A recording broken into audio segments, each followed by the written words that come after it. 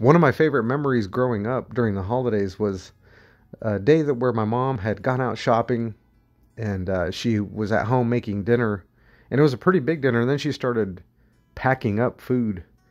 And uh, she started uh, she wrapped up the the things that she had bought at the store like gifts and stuff. And i thought i thought it was for us but um, i said what is all this for mom? She said oh you'll see you'll see.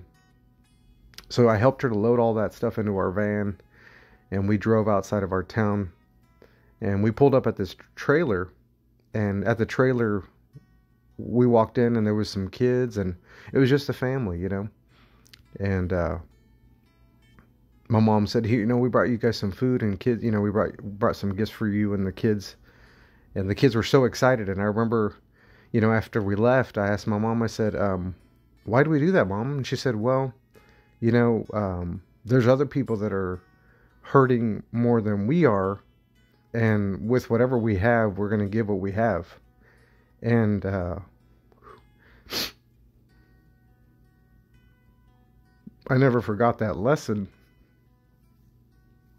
And um, i i uh, that's one of my favorite stories and we you know i tell my kids that every once in a while when i'm feeling when I get in my emotions during the holidays and think thinking about you know what you're thankful for, and I'm thankful for a lot of things, but um, one of the uh, the best lessons that we can teach our kids is just to how to uh, give without expecting anything ever in return, and uh, as you're sitting here watching me light up these little Christmas trees that we make and sell um, that's what goes into my mind whenever I'm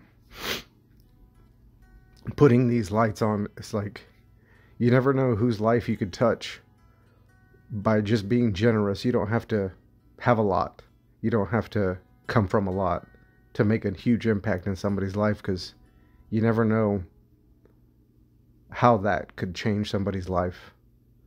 And um, anyway, thank you for watching.